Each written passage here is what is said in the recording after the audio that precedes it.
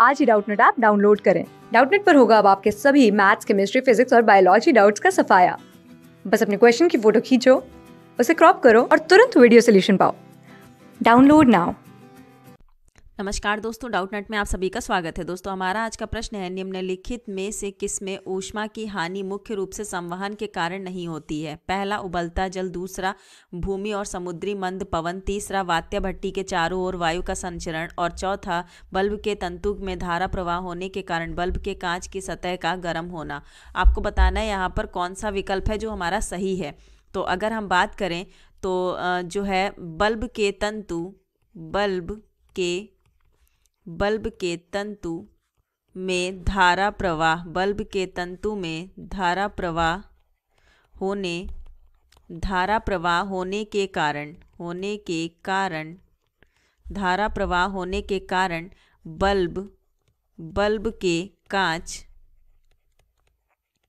Bulb के कांच की सतह, बल्ब के कांच की सतह का सतह का गर्म होना गर्म होना, ऊष्मा की हानि का, ऊष्मा की हानि का, ऊष्मा की हानि का मुख्य रूप से, मुख्य रूप से, ऊष्मा की हानि मुख्य रूप से संवहन के कारण, संवहन के कारण नहीं होती, संवहन के कारण नहीं होती।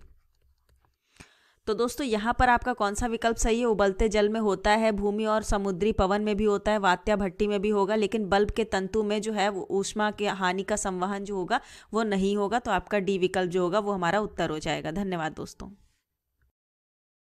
क्लास सिक्स से ट्वेल्थ से लेके NEET I I T JEE mains और एडवांस के लेवल तक, दस मिलियन से ज़्यादा स्टूडेंट्स का भरोसा।